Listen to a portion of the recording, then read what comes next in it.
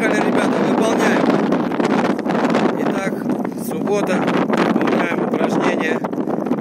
Подходим к сопернику, который вроде фишки. И разворот. Роман под себя делай. Денис правильно делает. Замах под себя, да, и разворот.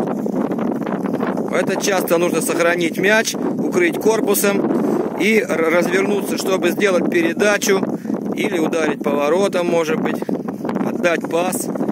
То есть это называется сохранение. Да. Хорошо. Денис выполняет. Хорошо.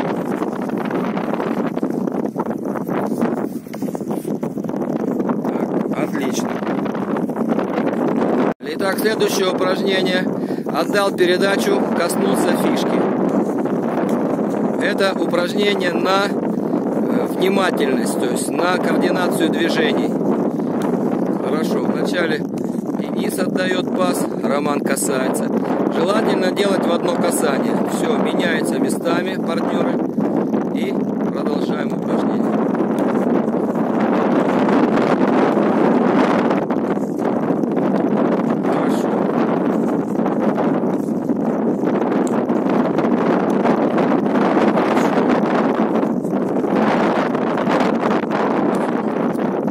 Молодцы. Следующее упражнение называется вольбуина. Резкий разворот. То есть очень резкая смена направления движения. Сохранением мяча. Нужно стараться, чтобы мяч далеко не ушел. В футболе тоже часто применяется, когда нужно резко сменить направление атаки или уйти от соперника.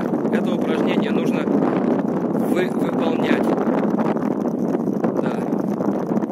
Все, что отточено на тренировках, потом пригодится в игре.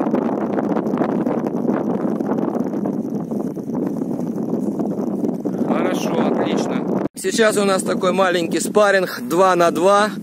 Смысл паса, чтобы пас был всегда в свободную зону, на движении, чтобы мяч.